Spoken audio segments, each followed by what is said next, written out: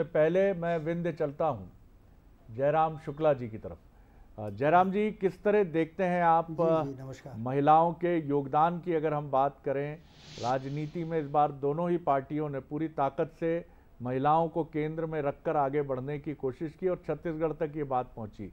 Vindhya reason में आपने क्या इम्पैक्ट देखा?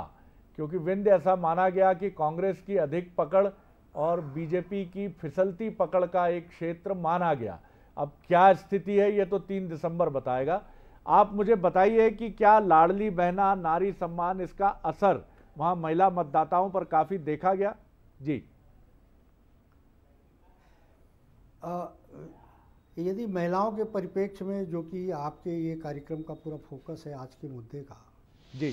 तो पूरे चुनाव में पूरे मतदान में यदि सबसे बड़ा फोकल पॉइंट है महिलाओं को लेके वो हम्म। ये विंध्य ही है। हम्म। आंकड़े सबके सामने हैं। तीस सीटें तीन तीस सीटों में चौबीस सीटों में महिलाओं का जो वोट प्रतिशत है हम्म। वो पुरुषों के मुकाबले ज़्यादा है। जी।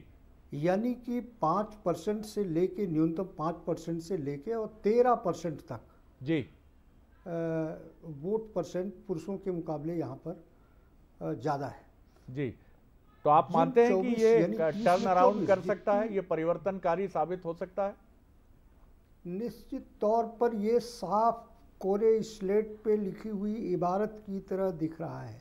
जी। पहली चीज़ तो ये कि इस क्षेत्र में जो पुरुष महिला असमानता है आर्थिक दृष्टि से सामाजिक दृष्टि से भी दुर्भाग्य से ये फ्यूडल इलाका रहा सामंती इलाका रहा है जी। तो महिलाएँ यहाँ की दमित रही हैं शोषित रही हैं और वंचित रही हैं संसाधनों से हम्म। तो उस जब भी महिलाओं को सशक्तिकरण की बात होती है तो सबसे पहले चेतना और चैतन्यशीलता इस क्षेत्र की महिलाओं में आता है हम्म। इस बार का जो वोट का ट्रेंड रहा है यानी कि चौंतीस सीटों में महिलाओं ने पुरुषों से ज़्यादा वोट किए, उनमें से 24 सीटें विंध क्षेत्र का होना 30 सीटों वाले विंध सो कॉल्ड विंध मैं कहता हूँ हमेशा, रीवा और शहडोल संभाग, वैसे विंध तो आपका आधा सागर संभाग भी है, पूरा मतलब पूरा का पूरा सागर संभाग भी उसी में शामिल होता है और ग्वालियर का भी छोर होता है, लेकिन बघेलखंड जो विंध का बघेलखंड हिस्सा है, उसमें तीस सीटें हैं।